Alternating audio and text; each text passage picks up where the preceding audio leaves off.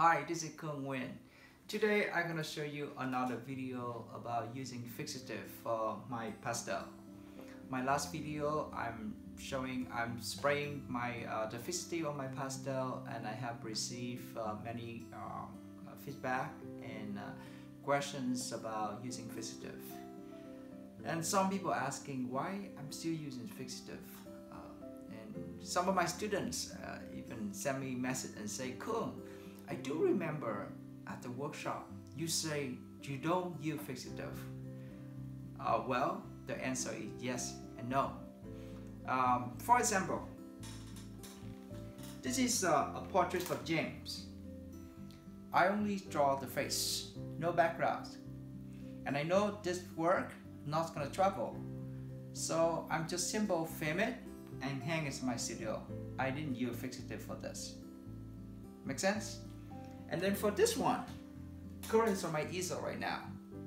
I use um, a lot of uh, um, soft pastel for the backgrounds. And this work, I just got the good news and it's selected to the international show in Suzhou, China in October. So it means I have to use fixative because it's gonna be trouble. Um, so I'm gonna use more fixative on the backgrounds, less on her face. Does that make sense? Alright, so I have a little parts of the hair I need to work on. I'm gonna finish it today. Then I'm gonna show you how to um, use fixative. Again, uh, we have to bring them outside later today. And uh, I also uh, show you how to pack uh, pastel when you carry on with you uh, for traveling or you can put them inside your luggage. Alright? So let's finish this work and uh, I will show you how to fix fixative later today.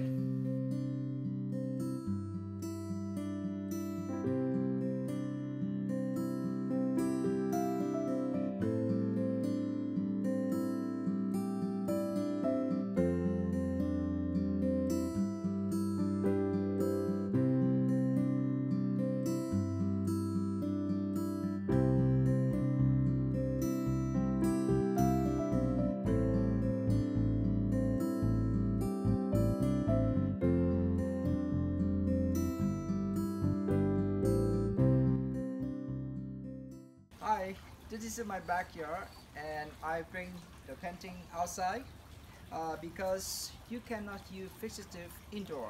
It's dangerous for your health, okay?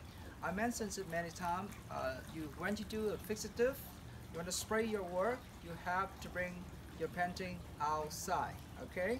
Again, the product I'm using is from Krylon. Workable fixative.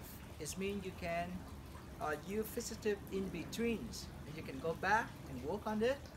Uh, from some this case, I'm spray in the end where my painting are already finished. Um, before you use it, you shake them. Test somewhere. Okay? You know that I will um, step back about three steps like this. Okay? We're going to start spraying.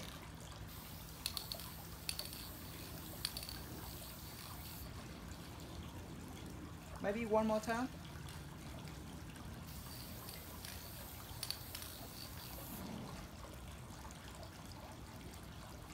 But in this case, uh, because uh, I like to spray the background a little bit stronger than uh, her face, so I'm taking the board, spray them.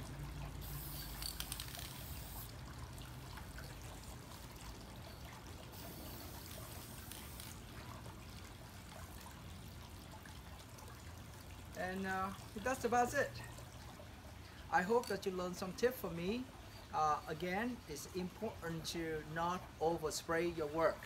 When you overspray your work, um, the color might change. Is uh, is might take you some time to fix it. Uh, so good luck, and I am looking forward to see you again in the next videos. Bye bye.